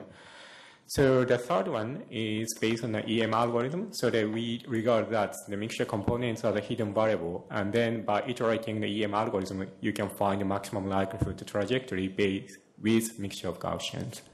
So it's still possible, but as Simon mentioned, it's more computationally expensive, but it's not as expensive as exponentially expensive. Yeah. And it is implemented in HTS. Right. Any more? Okay, so let's just wrap up and remind ourselves why we're doing parametric models at all, given that unit selection sounds fantastic. And the key, really, is that we can perform principled operations on statistical models that are much harder to perform on recorded speech. And the most interesting of those is adaptation, is to, is to change the model after we've trained it, to make it into a different model. And that's adaptation. So again, we're going to do adaptation in a very simple form. I'm going to do it with pictures. It's actually a very, very simple idea. Let's start with this idea. Imagine that I've got my distribution of F0. So I've got some data, lots and lots of data, and I've trained a really robust model of, of F0 for a particular state, a particular model, in a particular context. It's trained on hundreds of samples. And I like it, it's robust. Imagine I would now like to make this into a model of somebody else. Before getting to adaptation, uh, I'd just like to say that the biggest advantage of uh, statistical models is that they are very compact, so they can be placed inside very small, uh, you know, devices, and uh, where we cannot fit a unit selection system. That, that's the main one. Adaptation is still yet not there to, uh, to use it in, uh, in an industrial you know, environment. I guess that's true commercially. Yeah. But in terms of research, the reason people keep researching statistical Yes, models is that yes, absolutely. I'm stating that now, you're stating the future. Yeah. Okay. Thanks. So imagine we've got a statistical model that was uh, needed lots of data to learn. This F0 model is not going to need a lot, but it's going, we would like tens of samples to get a good estimate of this model. So we've estimated its mean and its standard deviation. They're good, solid estimates. This is a nice shaped Gaussian. I'd now like to make this as a model of some other speaker. But imagine I've only got a very small sample of speech from that speaker, and we just know the average F0 of that speaker. So I just know one value. I can't train a new model from scratch on that data. That's tiny, tiny amount of data. What I could do is I could adjust this model. So I could move this model to have the mean of that data, very simply by transforming it. Let's generalize that to some other parameter, and let's not just think about F0, but let's think about uh, cepstral coefficients, the spectral envelopes is very high dimensional. And let's think about all the, all the parameters in the model. Let's think about all the different parameters in a very big train HMM.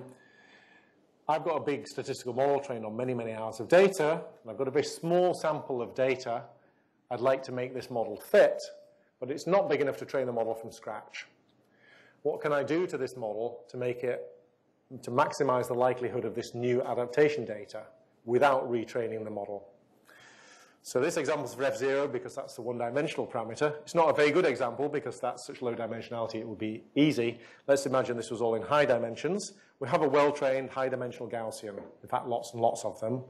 And we have a small set of data points, some adaptation data from a new, let's say, speaker, a new individual, and we want to make the model a good fit to the speaker.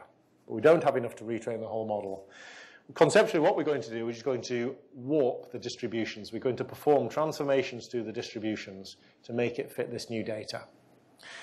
Now, it's not completely obvious in that why we can't just retrain on the, on the new data. So we'll make that clear as we go along in a minute. What sort of transformations might we think of applying? We're going to keep them simple because we've got to be able to learn them on a very small amount of data. We're going to learn very simple linear transformations. So the most simple linear transformation is just a shift which just we could just add something to the mean. So we need to learn a number of parameters equal to the size of the mean and add that. That's one thing we can do.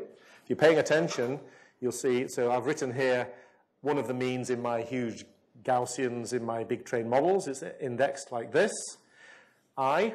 So there are I ranges over thousands and thousands of Gaussians that I've trained, all the leaves of my regression trees.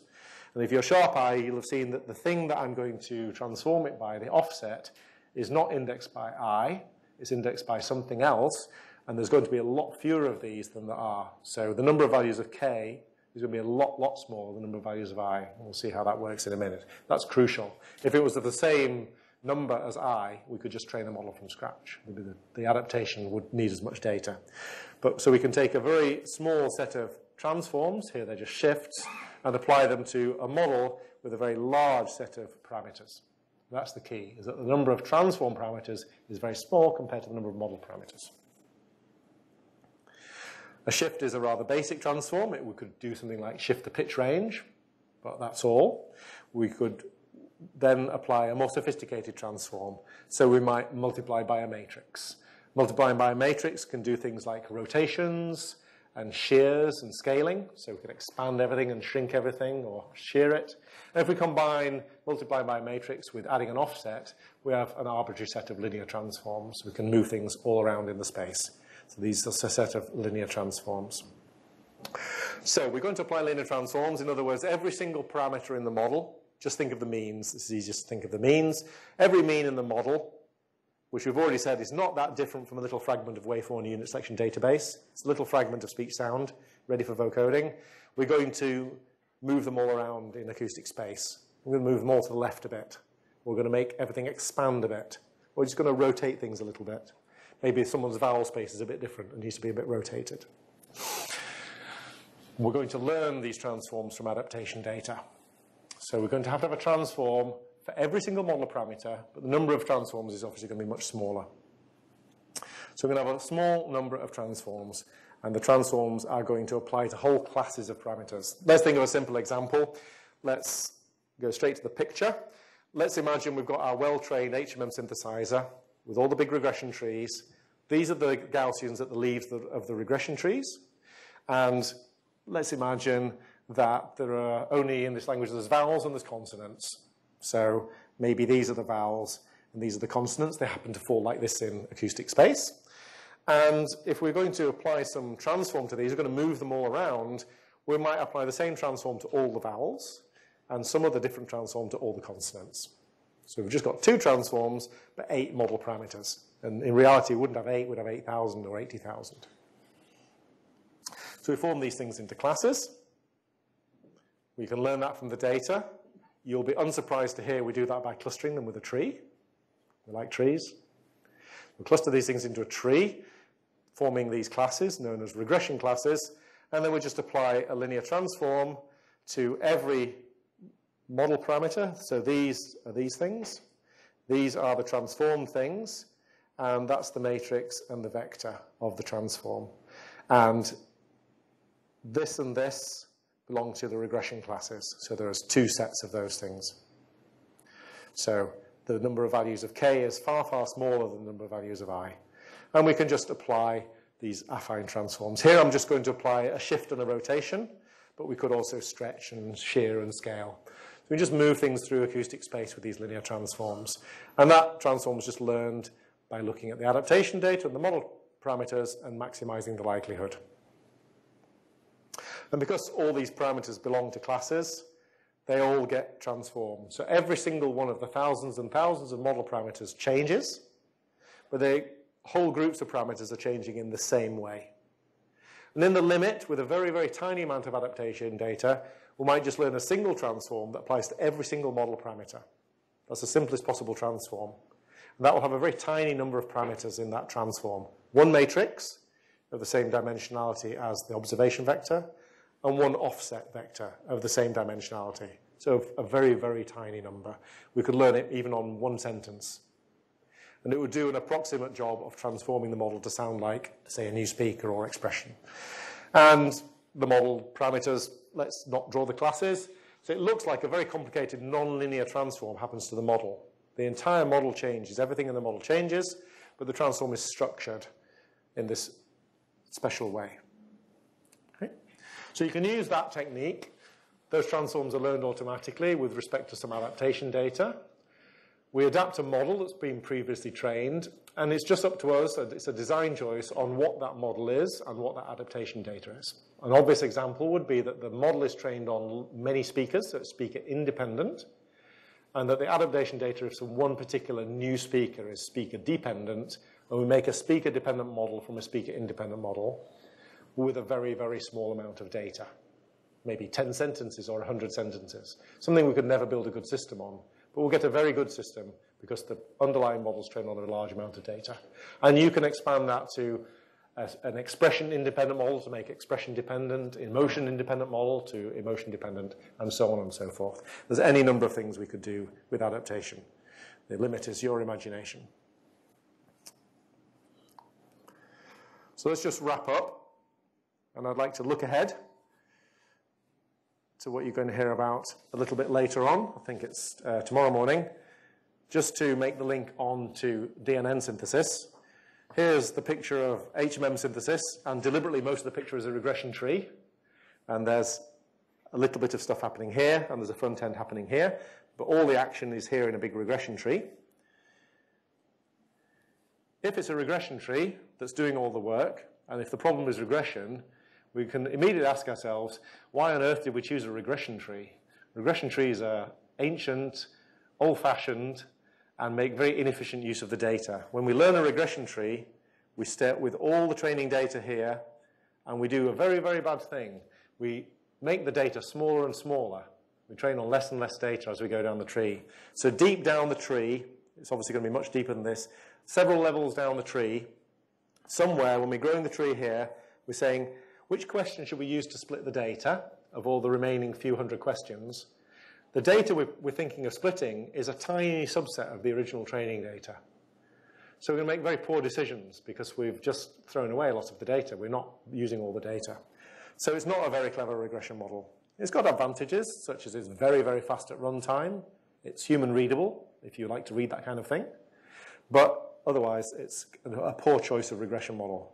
So pick a different one. Pick any other regression model you like, and the choice of the moment is the neural network. It's the most generalized regression model we can think of. Think of it as a, non-learn, a learnable regression model, a non-linear regression model. And so we're just going to insert a neural network where there used to be regression trees, and everything else will be pretty much the same. Okay. That's the end of that.